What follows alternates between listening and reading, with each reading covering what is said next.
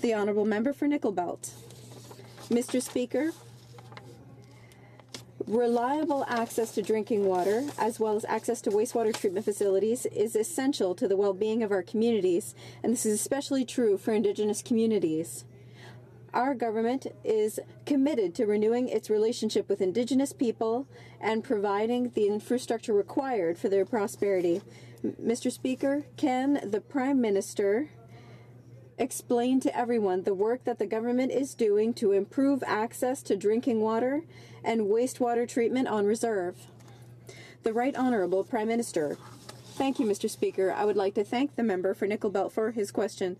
The state of drinking water and wastewater systems for First Nations is unacceptable. That's why recently we funded 235 new projects for wastewater treatment and drinking water treatment.